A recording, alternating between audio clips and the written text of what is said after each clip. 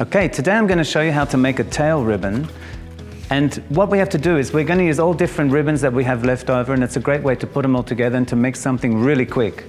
So first of all, with, depending how long you want it, I'm going to make it this long. So you fold that together and then, so that's going to be the length.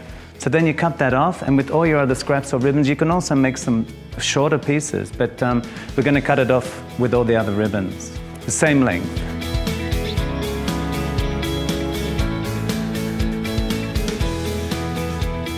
Okay, now we have all our lengths. Starting from the wider ribbon, then we're gonna layer them up. So you go and put that in half.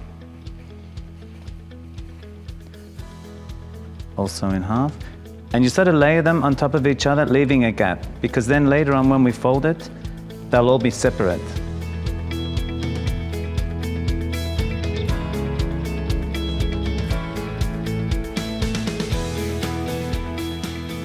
And then we do one big fold in the middle and making an arrow sort of thing. And then we're going to wire around that whole thing.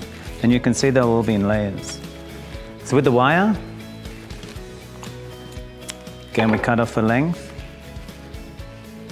wire it halfway down so they all get caught in the wire. Really tight. And twist the two wires together.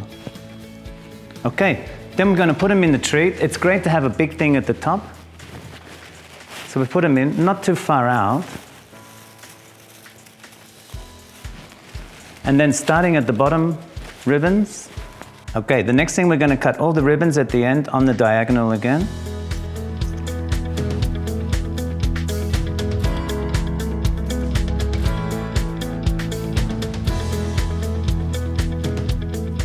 Then starting at the bottom, what you do is you just sort of pleat them under.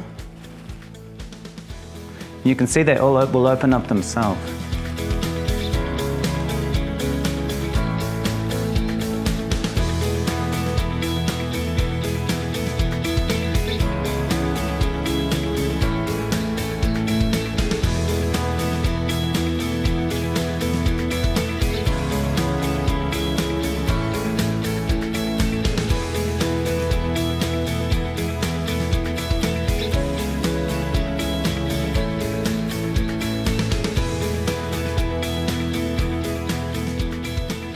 Okay, so there we have our tail ribbon.